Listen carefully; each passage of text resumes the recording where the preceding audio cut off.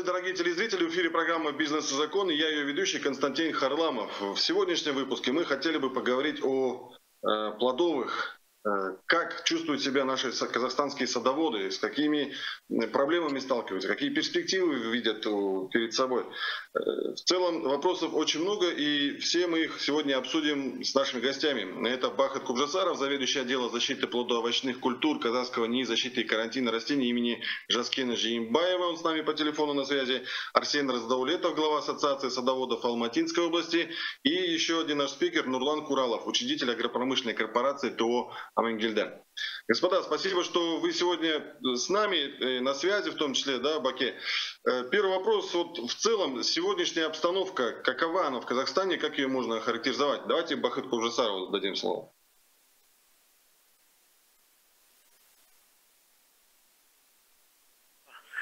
В этом году по садам, можно сказать, по разным регионам она разная.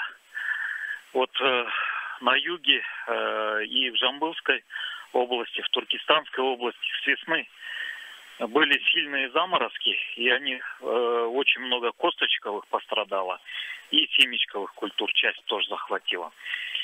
А в Алматинской области э, плодовые в этом году э, завязались хорошо, но были проблемы с бактериальным ожогом в этом году, потому что климатические условия этого года были очень благоприятные для вспышки бактериального ожога.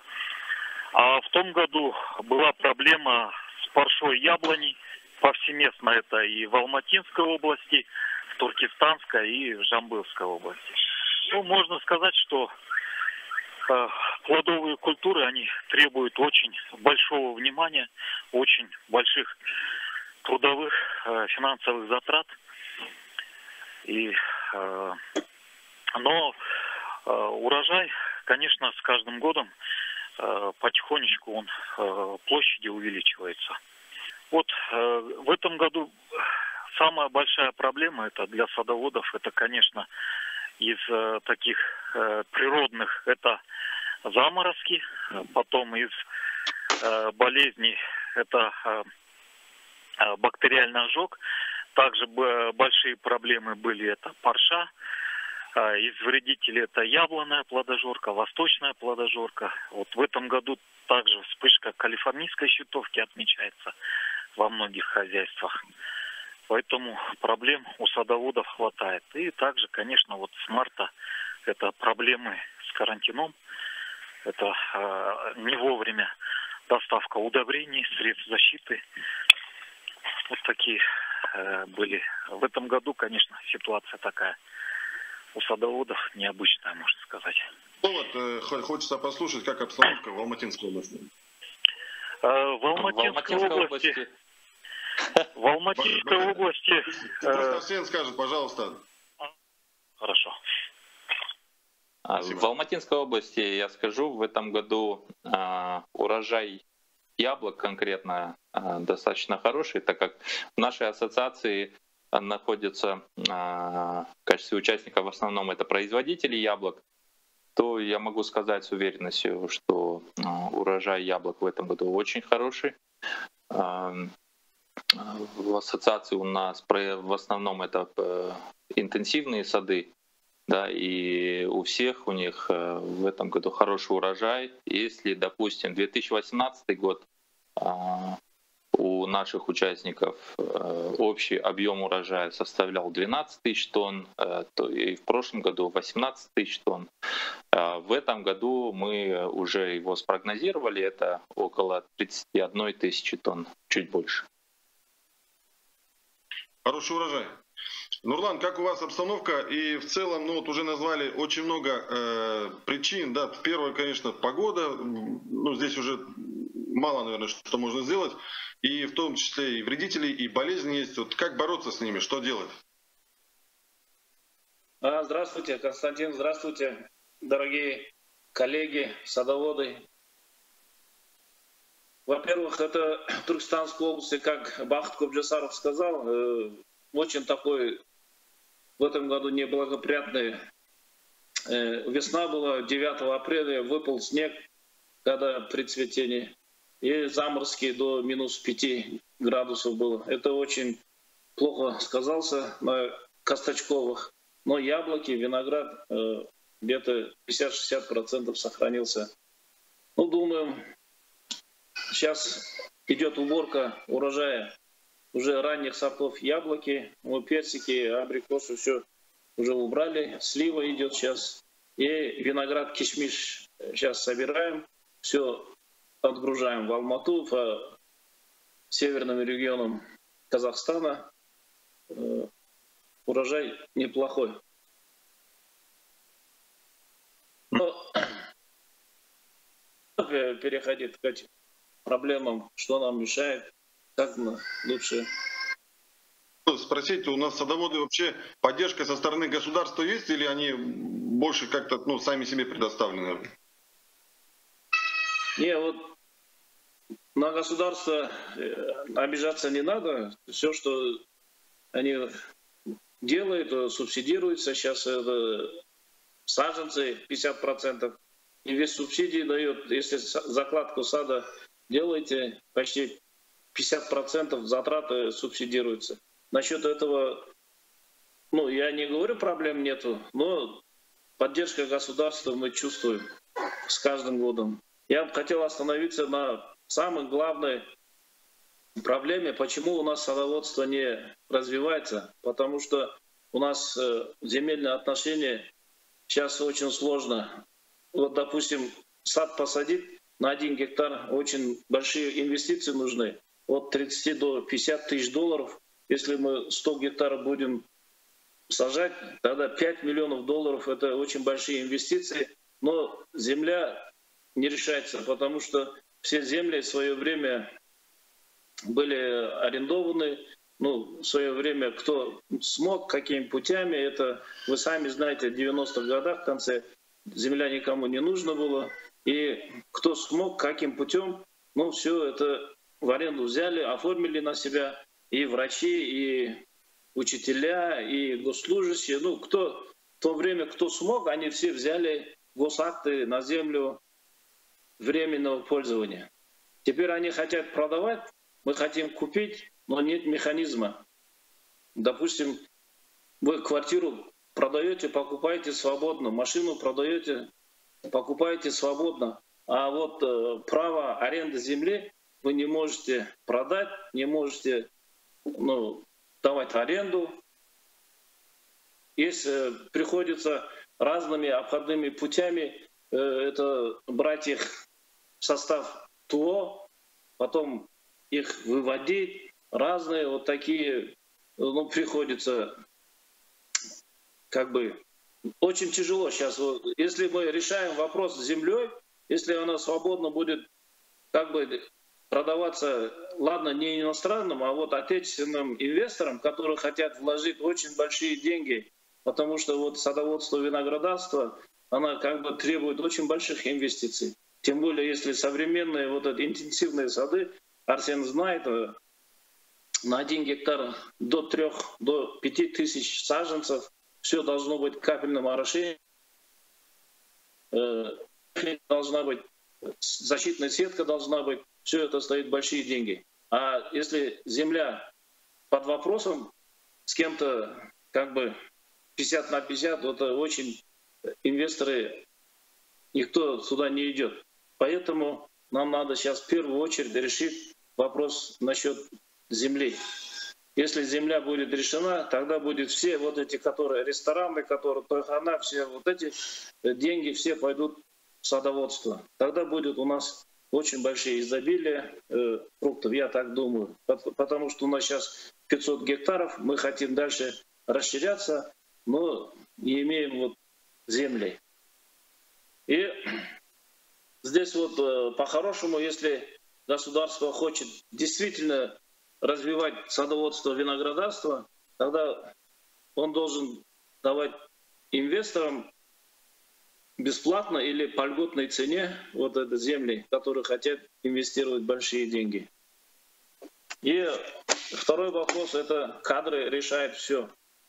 У нас все кадры советских времен остался это как бы старыми методами. Сейчас очень интенсивное садоводство, требуется как бы агрономические знания против болезней. Очень много сейчас э, болезней и минеральные удобрения надо давать. Нам нужны кадры. Сейчас вот э, я уже пять лет с этим сотрудничаю, с сельхозинститутом. Ни одного агронома не могли мне отправить. Вот у нас сейчас из Турции работает агроном, он 2000 долларов получает, и то, ну, как бы, нам нужно выращивать своих агрономов. Вот Бахт Кобжасаров, он знает, был у меня, постоянно семинары проводим, постоянно обучаем здесь крестьян. У всех одна проблема – нехватка кадров, особенно вот энтимологов, э, которые работают с химикатами. Э, агрономы, которые обрезку хорошо делают, и механики. Вот надо кадры как-то надо решать. Это начиная вот с сельхозинститута, там а, а, это, Академия сельского хозяйства, да, у нас. Очень большая тема. У всех, у, кто, все хотят заниматься садоводством, но не знают, как, с чего начать, как делать это все это дело. И э, третий вопрос у нас э, химикаты. Очень много мы применяем, ну, не очень много применяем, но применяем химикаты, которые очень дорого стоят. Вот, допустим, они, если в Турции 5-10 раз у нас дороже. Привозим, и вот э, мы не можем конкурировать с узбекскими или киргизскими как бы садоводами, потому что у них Э, облегченная растаможка и вот это время регистрации у них новых препаратов очень быстро делается. Как у нас сейчас э, лекарства против пандемии было же, точно так же нам надо э, как бы открыть доступ вот химикатам, да, которые препараты, пестициды, гербициды, у нас очень долго они проходят регистрацию и очень дорого нам обходятся они. Это третий вопрос, это сбыт. Сейчас вот, допустим, мы продаем со склада 200 тенге. Они в Магнуме или в любом торговом центре продаются 600 тенге. Почти, ну сколько, два-три раза дороже. Мне надо, кажется, надо вот этот, каждый должен заниматься своим делом. Вот недавно мне с Караганды приехал, там открылся глобус такой, большой торгово-логистический центр, хозяин этого центра Нурлан, как он говорит, Нураке, приезжайте, мы создадим вам условия, продавайте, говорит. Я говорю, мне, я должен заниматься производством, количеством, качеством, чтобы хорошая продукция была. И вы, там кто-то еще продавал. Есть отдельное министерство торговли у нас, для этого создали, чтобы они помогали нашим предпринимателям, чтобы не каждый стоял там под это, прилавки и продавал свою продукцию. Надо как-то это дело решать. Особенно вот эта поддержка отечественных производителей. Вот аргентинские даже, я видел, 1000-1200 тенге яблоки продаются. Кто это покупает, аргентинское? Я не, я не понимаю. Это пока с Аргентины она доедет, что с ним останется? Вот сейчас свежие местные яблоки, вот 300 тенге продаем, а рядом стоит 1200 тенге аргентинские. Люди, кто покупает, я не пойму. Если она стоит, значит, она продается. Мы должны быть каждый патриотами своей Родины. То все должны покупать, я думаю, отечественные, тем более у нас экологически чистые, свежие. Ну, не в обиду, если вот польские яблоки стоят, это значит, они прошлогодние или, может быть, даже позапрошлогодние, как 90-летние старушки. У нас 18-летняя девушка, как свежая она, молодая. Вот я хочу пригласить всех, а, призвать отечественников, чтобы покупали свою отечественные товары, особенно овощи, Града. И пятый вопрос у меня питомниководство. Почему у нас не развивается садоводство? Потому что у нас очень дорогой завозится из-за границы саженцы. Питомниководство сейчас э, надо, нам свое отечественное питомниководство надо развивать. Заказывать вместе Э, вопрос э, Бахыт Кобжесарову хочу задать. Константин. Вот в этом году, вы сами знаете, было наводнение в Махтаральском районе, да, Тароба, вот соседний Узбекистан нас затопил, да. Это самая главная причина, там не только природные катаклизмы, это упущение э, Министерства водных ресурсов. Они должны были это посмотреть уровень воды и не допустить такого. А то сейчас они хотят затопить нас, хотят не дают воду. Сейчас, допустим, воду вообще не дают нам. Вместо 20 кубов сейчас 7-8 кубов дают. Ничего мы не можем сделать. Отношения довольно сложные, я там думаю, идут переговоры, дай бог, чтобы они, конечно, да. Ну, за счет налогоплательщиков должны это решать этот вопрос.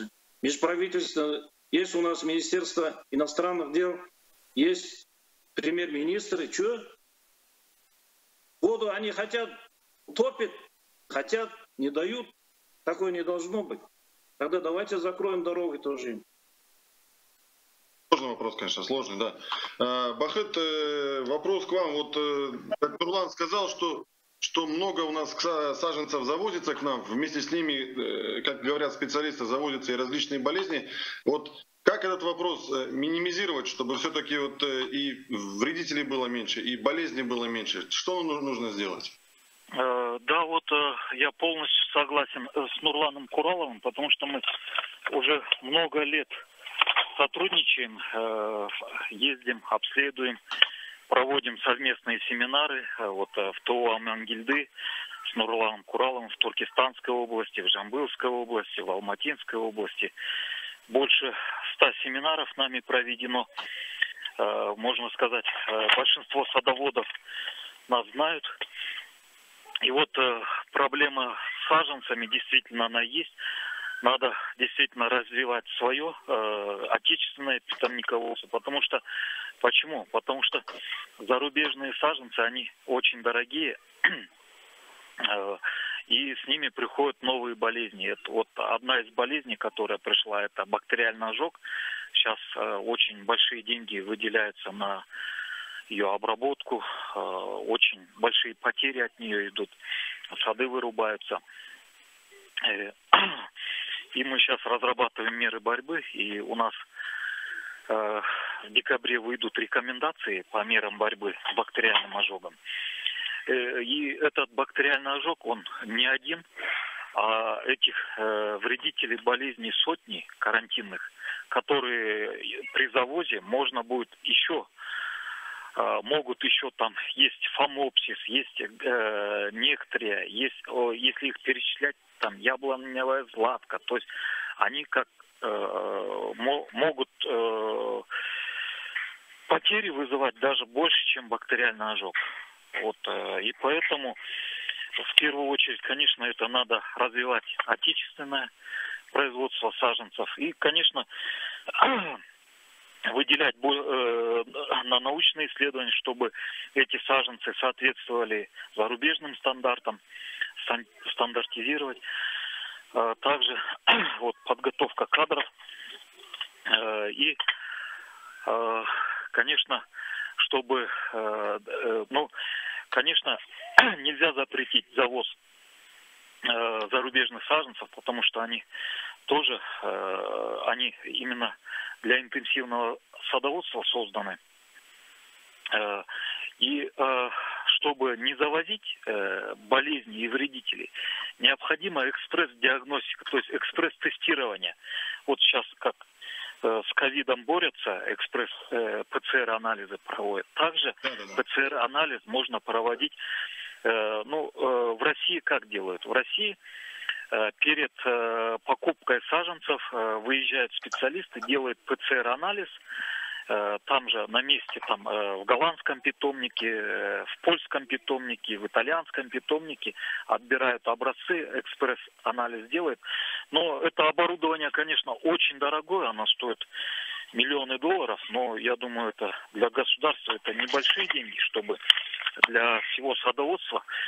Вот нужно создать, у нас создана в институте ПЦР-лаборатория, которая может, э, но мы можем только сейчас делать ПЦР на бактериальный ожог, а вот на остальные болезни и вредители это э, нужно дополнительное финансирование. У нас кадры есть, оборудование есть, лаборатория есть, просто его сейчас надо немножко усилить э, и развивать отече, отечественное питомниководство, отечественное также вот и э, больше внима, э, также уделять внимание э, вот больше у нас вот когда первое субсидирование было раньше э, субсидировали и обычные классические сады, которые не, не интенсивные, а обычные, которые с советских времен выращивали, которые урожай на пятый год, их субсидировали, они э, затраты там э, выходили уже не 50 тысяч долларов на гектар, а 10, 10 э, тысяч долларов на гектар. И это уже там в пять раз дешевле. И сейчас в условиях сейчас кризиса, пандемии, я думаю, больше надо уделять внимание и параллельно и интенсивному садоводству, и Э, классическому садоводству. Например, если у, у человека нету 50 тысяч долларов на один гектар, чтобы заложить интенсивный сад, э, э, надо сделать условия, чтобы человек, имея 5 тысяч долларов, мог заложить себе сад на одном гектаре, а если бы 5 тысяч долларов еще государство просубсидировало, я думаю, было бы тоже уже садов, э, площадь садов увеличивалась бы уже э, в советское время площадь садов была 100 тысяч гектар. Сейчас чуть больше 40 тысяч гектар. Я думаю, э, стимулируя производство интенсивных садов и классических садов, можно довести до, до 100 тысяч и выйти на, на... Сейчас мы на 50% только себя обеспечиваем яблоками. А можно сто процентов обеспечить себя яблоками и на экспорт миллионы тонн уже. Э, то есть э, выйти на экспорт. экспорт. Поэтому вот, конечно, нужно большая, нужно э, поддержку еще усиливать, на науку больше тоже финансирование выделять и на современную вот, э, диагностику вредителей болезни. Вот почему мы говорим, что вредителей болезни с каждым годом все больше и больше. Потому что мы э, проводим э, диагностику классическими методами, э, которая требует э, 10 дней. То есть это надо, э, ну там технические моменты, это в чистую культуру э, ждать, пока гриб, бактерия вырастет.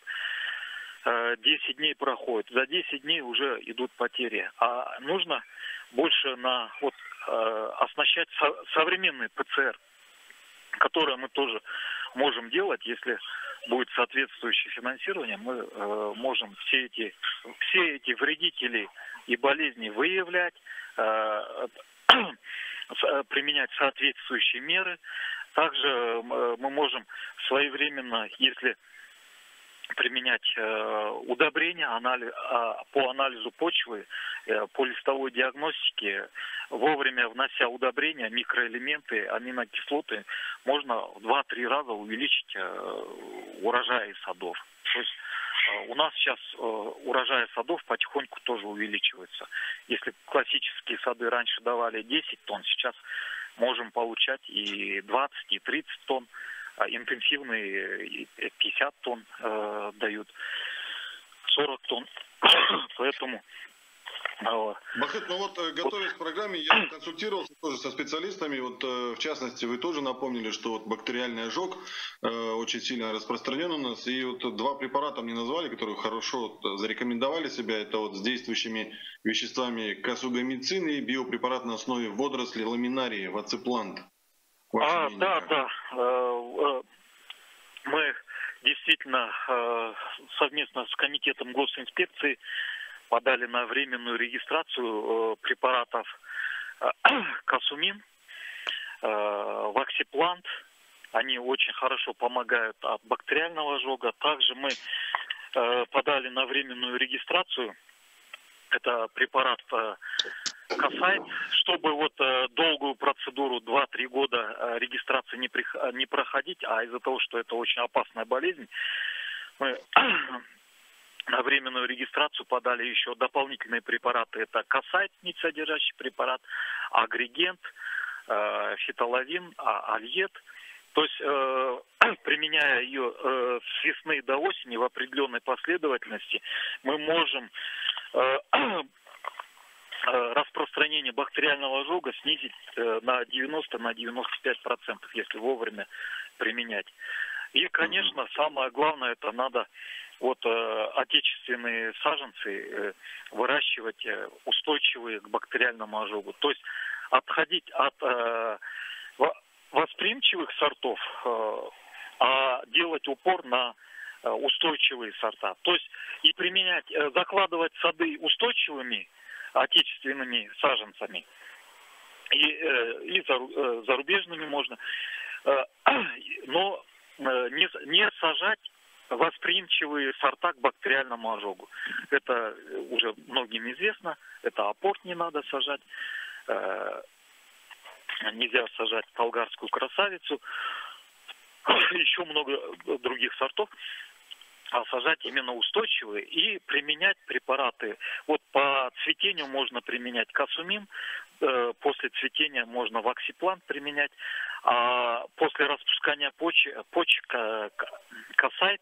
Это подробно у нас э, в декабре будет выпущена рекомендация на основе наших трехлетних исследований и мирового опыта. А, и а, вот эта система, мы предложим садоводам систему защиты, которая уже опробируется во многих хозяйствах. И э, уже несколько лет мы на семинарах объясняем, как э, бороться, как, как выявлять эту болезнь. Угу. Поэтому... Ну, Бахыт, спасибо большое. Спасибо за ваше экспертное мнение. Это вопрос у меня к Арсену, засиделся у нас. Эм, Арсен, вот вы говорите, с каждым годом урожай растет, в этом году вообще более 30 тысяч тонн вы ожидаете, да? Э, весь этот урожай, он остается в области, то есть вы сами себя обеспечиваете, либо куда-то вот э, ваши яблоки все-таки уезжают? Да, мне хотелось бы прокомментировать э, вот некоторые а, а, слова моих коллег, да, Нурлана и Бахыта. А, вот. То, что касается урожая, а, в этом году, да, действительно есть, получается, затруднения по а, приезду, например, а, тех же российских да, покупателей сюда, в Казахстан, в Южной области, для того, чтобы договориться, какие-то заключить фьючерсные контракты на покупку э, тех же яблок, э, там, косточковых культур. Но, э, конечно же, именно в этом сезоне хорошо отработают те предприятия, которые а, предыдущие годы вели такую упорную долгую работу для того, чтобы найти себе партнеров да, надежных в той же России, в каких-то других странах, но в основном, так как наши, э, наши плодовые культуры, плодовочные культуры идут именно в Россию, на российский рынок, э, именно с российскими торговыми сетями и какими-то посредническими компаниями надежными. А, вот э, именно эти наши местные компании, они и получат какую-то свою а, выгоду да, от, от той работы, которая им была проделана в предыдущие годы. Вот. И яблоки, а, какая-то часть, да, уйдет в Россию, а, но, э, насколько я знаю, в основной массе яблоки остаются здесь, в Казахстане. Они распределяются по другим областям, а, продаются здесь, в Алмате, очень хорошо. В Россию тоже в, в торговые сети уходит какая-то часть. Но опять-таки именно у тех компаний, которые хорошо себя э, проявили в предыдущие годы и законтрактовались э, с крупными торговыми сетями. А то, что касается пестицидов, вот дороговизна, вот в этом году я когда в январе, по-моему, или в феврале ездил в, в Нур-Султан для того, чтобы поучаствовать там, в общем заседании Министерства сельского хозяйства. Вот тогда был, была озвучена инициатива Минсельхоза о том, что они а, будут э, субсидировать э, пестициды на 30%. Вот насколько я знаю, э, как бы эта программа вроде действует. А, то, что касается кадров, у меня вот есть такая хорошая новость, которой, в принципе, я очень горжусь. А, в прошлом году мы провели такую большую работу э, вместе с представителями различных э, компаний из Нидерландов, э, в том числе и посольства Нидерландов. Я был привлечен в качестве координатора этого проекта. И как бы идея была, заключалась в том, чтобы создать демонстрационный участок с плодовыми культурами, около восьми культур различных, это яблоня, груша, слива, черешня, клубника, голубика и спаржа. А, вот. А, а и красная смородина. А, для того, чтобы реализовать этот проект, здесь нужен был научный партнер, э, институт, либо сельхозуниверситет. Этим партнером стал э, университет э, Казнал, да, наш аграрный университет в Алмате. И э, проект был после подписания различных там, а, меморандумов э, на самом высоком уровне. Э, в Голландии был, э, была достигнута договоренность. Был сам ректор также присутствовал. И в этом году проект был реализован на участке полтора гектара. Интенсивный сад с восьмью культурами. Вот. И Казнал э, как бы, ну, э, взял на себя смелость реализовать все-таки этот проект, и чему я очень рад, потому что вот э, те же члены нашей ассоциации, они также с большим энтузиазмом восприняли эту новость. И партнеры нашей ассоциации — это различные поставщики товаров и услуг, в том числе и удобрений, и средств защиты растений, и капельного оборудования. Как бы многие из них приняли участие вот в таком проекте. И здесь э, Казнау сможет э, обновить базу а, э, данных и обновить какие-то знания для своих преподавателей и для профессорского состава. И особенно, конечно же, это для студентов, магистрантов, докторантов. Они смогут получать новые какие-то знания о современных технологиях выращивания плодовых культур.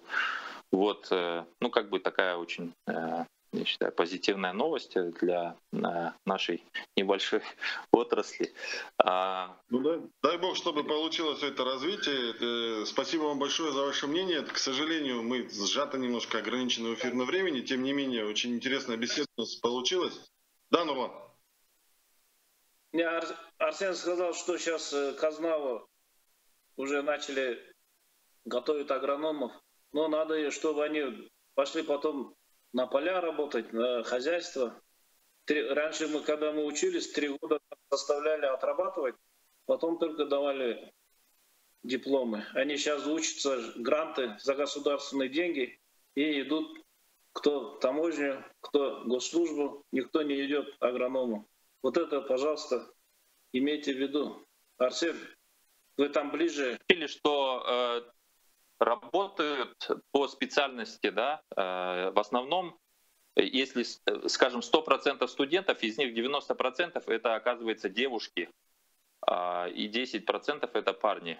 И, соответственно, многие девушки выходят замуж, и э, мало кто продолжает работать по специальности.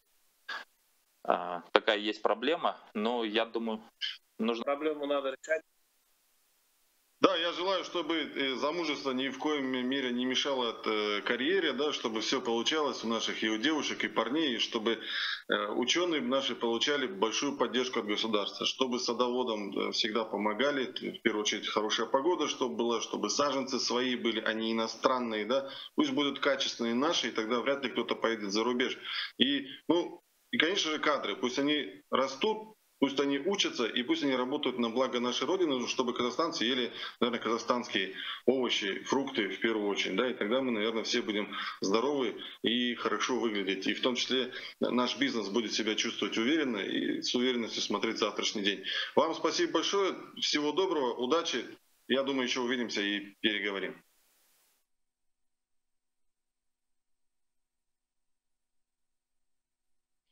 На сегодня у нас все. Спасибо, что были с нами. Увидимся через неделю. Удачи вашему бизнесу.